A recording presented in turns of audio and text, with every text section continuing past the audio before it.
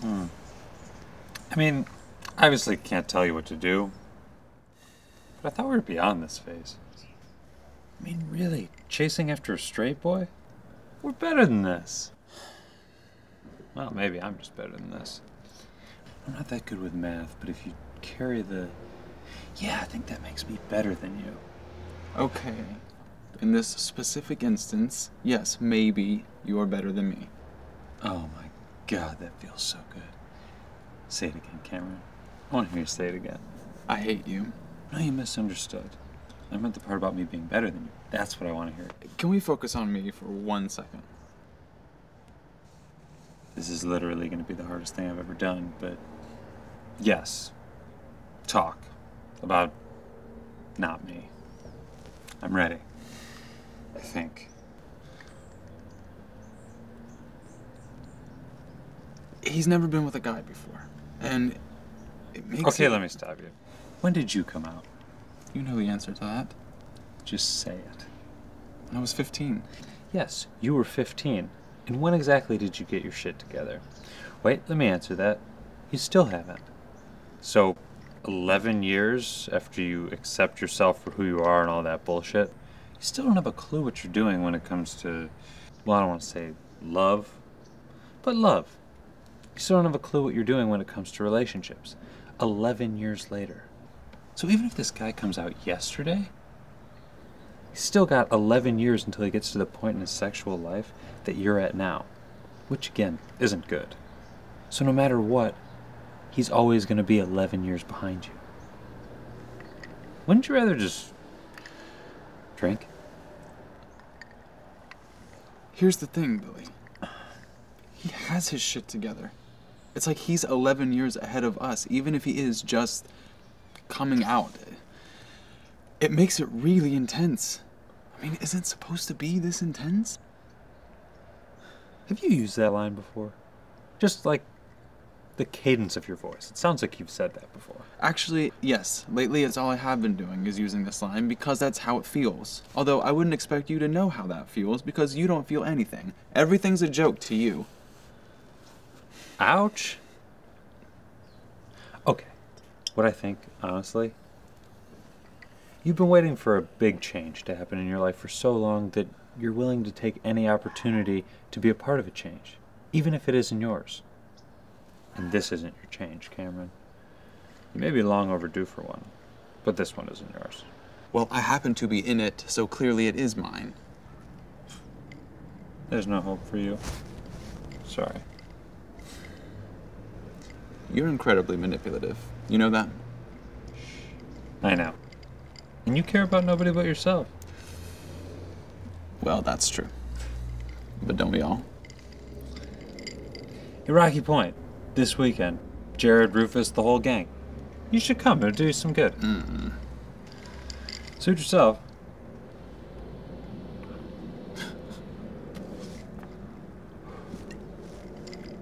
I'm trying to quit. It's working. Great. Classic. Classic.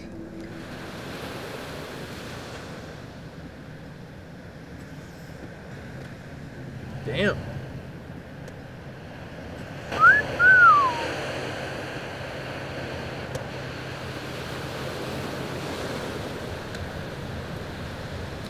All right. Forgot you're not interested anymore because you're in a relationship. Give me a frickin' break. You can take the whore out of the whorehouse, Cameron, but you can't take the whorehouse out of the whore. So what do you guys think?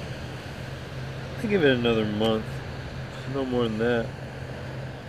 No, I think this one's got a little bit of staying power. I mean, he has broken the mold a bit.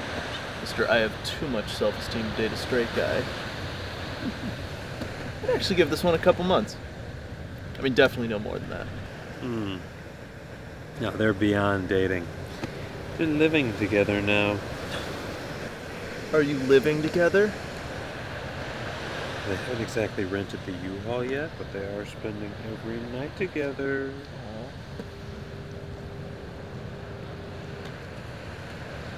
Oh. Here comes your little prude friend to the rescue. How cute. Must be scary all by yourself in the closet, Michael. Have another drink, Billy. Ooh. Hmm. What a great idea. Hmm, you really do know me. Seriously, let's put some money on this. They're basically living together already. I'm giving it another month. No more than that. Let's get out of here. Cam, he's just messing with you, man. Why are you so sensitive these days? Damn. You're a dick, Billy. I'm right. Am I not right? Seriously, I want to hear you say it. Billy, you're right. Just like always.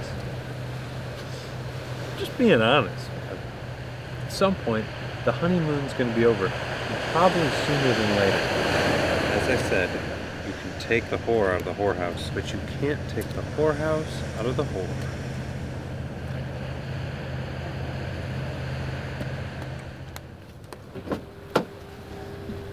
I don't know why you hang out with him. Seriously. I came because they told me you were coming. Besides, I haven't seen you in months, so Sorry. it's alright. I get it. But why did you come anyway? I thought it'd be nice to see Jared and Rufus. It's been a while.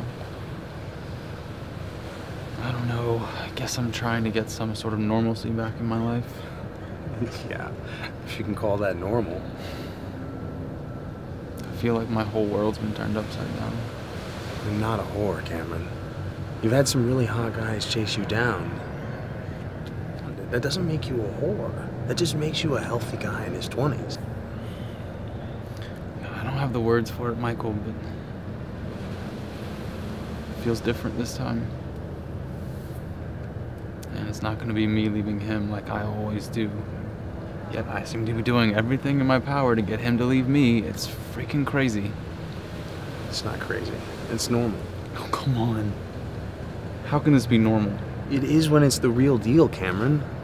I mean, infatuation burns bright and quick. I mean, love's a whole different world, especially when passion's involved. And those that have never experienced it,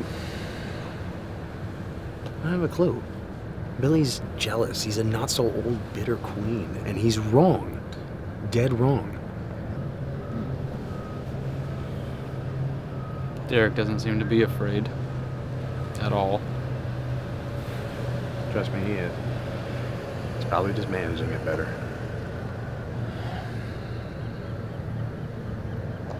He's in therapy, right? Therapy, yes. I hate therapy. It never works for me. No offense. Derek's been trying to get me to go with him. You should probably check it out, Cam. Okay, we'll come see you. Yeah, right.